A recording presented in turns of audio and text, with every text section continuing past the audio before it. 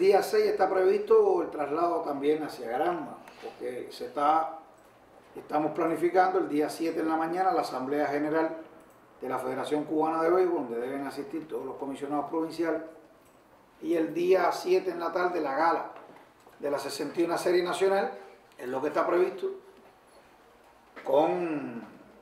la premiación de, en este caso, el reconocimiento de las estrellas seleccionadas, tanto ofensivas como defensivas, como integral y el cuadro honor de la 61 Serie Nacional.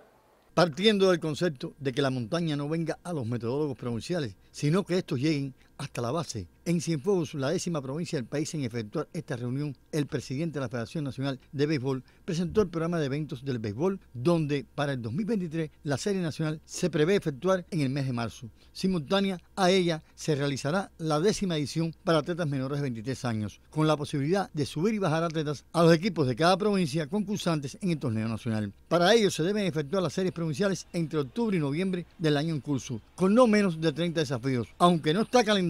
en las nueve provincias que antecedieron a Cienfuegos, no se afronta dificultades para su desarrollo en cuanto a disposición y apoyo de cada territorio al béisbol, donde debe primar la atención a los atletas, que espera Cienfuegos no sea la excepción. Existe una regla internacional del béisbol, lo cual nosotros le hacemos adecuaciones a los diferentes eventos y surge un reglamento específico para una categoría. Somos el criterio que se debe competir de la manera más similar a como se compite internacionalmente para que nuestros atletas, entrenadores, directivos, equipos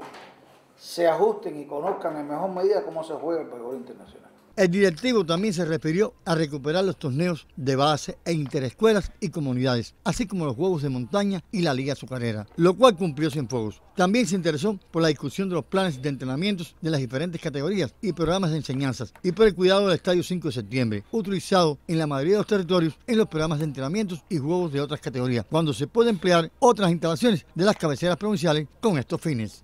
Desde Cienfuegos, Primitivo González, Noticiero Nacional Deportivo.